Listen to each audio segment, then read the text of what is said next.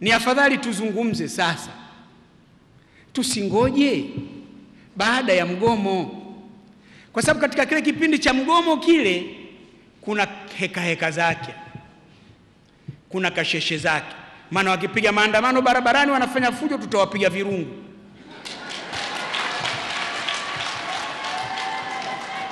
Sasa mkishatoa na ngeu, wengine tukawakamata tukashtakiana, mazungumzo baada ya pale hayana raha. Ni vizuri mzungumze kwenye mazingira mazuri, wasizani kwamba wakifanya fujo tutawaacha. Hatuwaachi.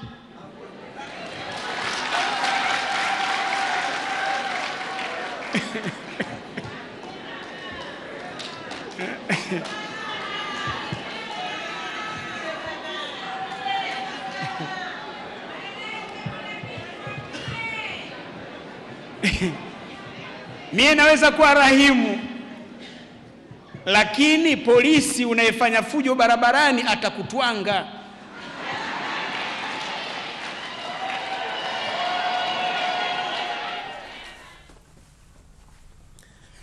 Nam, habari za asubuhi mtazamaji wa ITV, karibu katika sehemu ya pili ya Kumekucha. Sehemu ya pili ya Kumekucha tunapata kupitia vichwa vya habari vilivyopewa uzito katika magazeti mbalimbali kwa asubuhi hii yaliyotufikia katika meza ya Kumekucha. Mimi naitwa Joseph Ndamaria.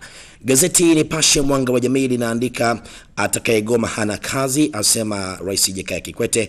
Afafanua mgomo wa wafanyakazi ni batili, asema hata wakigoma miaka nane hawalipwi. Aeleza yu tayari kukosa kura zao Oktoba. Tukta waahidi kutoa tamko la mgomo leo. Ni habari ambayo inaandikwa na magazeti yote ya Kiswahili na hata Kiingereza asubuhi hii kuhusiana na kauli ya Mheshimiwa Rais. Ah, Vile vile Nipashe linaandika Karume asaini sheria ya kura ya maoni Zanzibar. Spika sita akerwa na walarushwa kuonekana mashujaa katika jamii. Ni habari inaonekana katika ukurasa wa kwanza wa gazeti hili la Nipashe asubuhi hii. Gazeti la Mwananchi mtazamaji wa ITV likiandika wakoloni eh, bora kuliko mafisadi ni kauli ya sita. Eh, Barabara kufungwa, mkutano wa uchumi ni habari vile vile ambayo inaandikwa na gazeti hili la Mwananchi katika ukurasa wa kwanza, ah, vile vile katika habari inayopewa uzito. Na mtazamaji wa ITV, gazeti la Majira anayetaka laki tatu na elfu kumi na tano aache kazi, asema Kikwete, asema atawashangaa wafanyakazi wa serikali watakaosikiliza viongozi wa TUKTA. Ni gazeti la Majira. Vilevile Vile vile eh, sita na balozi wa Sweden wazidi kukomalia wala rushwa.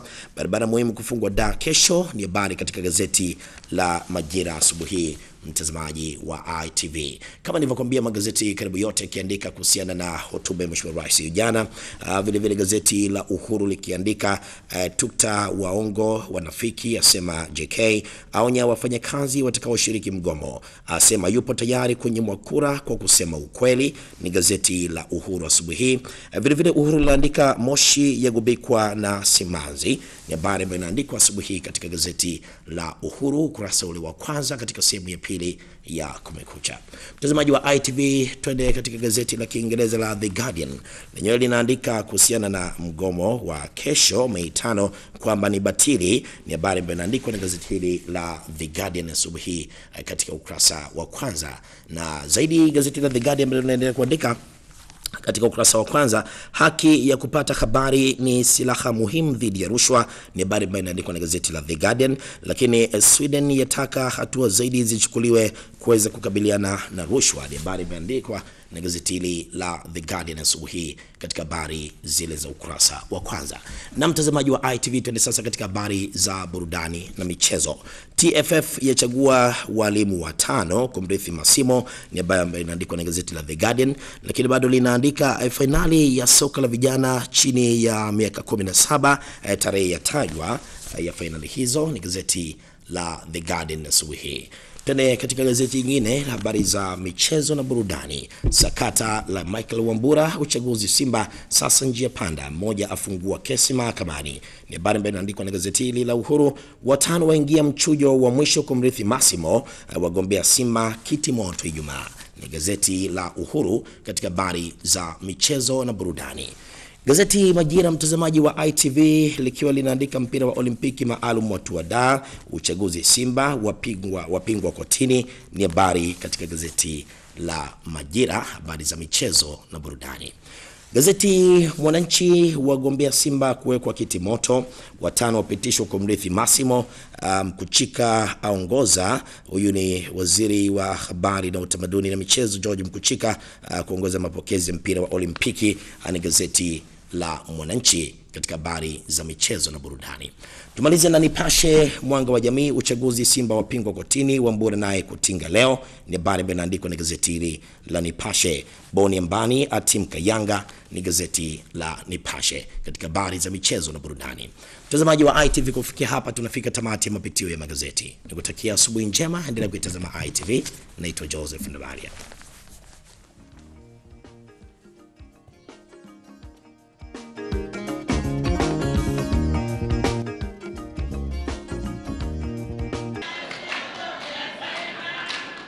Sasa nikasema jamani, tunaweza tusifike huku, tuzungumze sasa. Huko mwishoni kunaweza kuwa na matatizo, tunaweza kuwa tunazungumza, mtu ana plasta